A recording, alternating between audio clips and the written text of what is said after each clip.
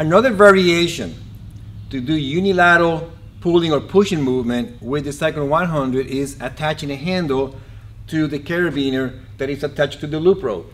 Okay. Then once you get that, you get in the right position. We like to get in a split stance.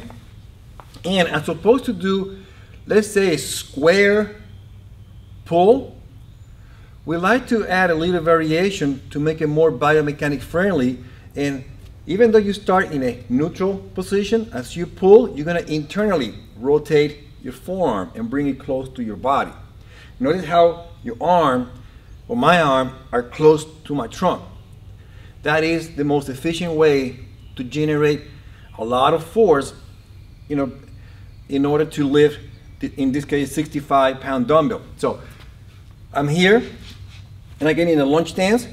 I'm starting in a neutral position here. As I pull, I rotate my forearm internally all the way to the front of my chest. Okay? And then I repeat. Okay? Now, I don't like the fact that I'm not getting a lot of extension on my arm. So I'm gonna go ahead, from here it's better, to loosen the loop, loop rope, and then pull the big rope, just to get a little more, more height. Now you're gonna see how much, how much stretch do I get from my arm and my ribs.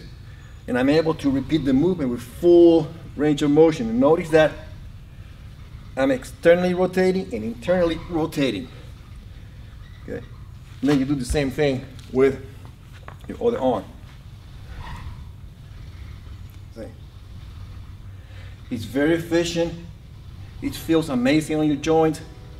You feel how the rib cage opens and then contract. Okay?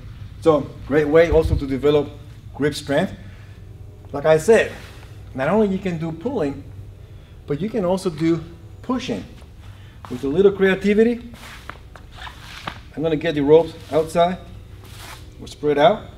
I'm gonna pull with my right and my left, I'm getting in lunge stance, okay? And then from here, notice I'm almost in a punching mode, okay? I'm gonna grab the rope with my right arm, and then in this position here, I'm gonna push and rotate. And I'm gonna lower my center of mass in order to do the movement. You don't wanna really be too explosive or try to jerk it because you, you know, it's obvious that you could create a swing that, if that's not desirable. So again, there's another way or another application with the Cyclone 100. Now let's go ahead and teach you how you can do rope climbing in a very efficient and safe manner.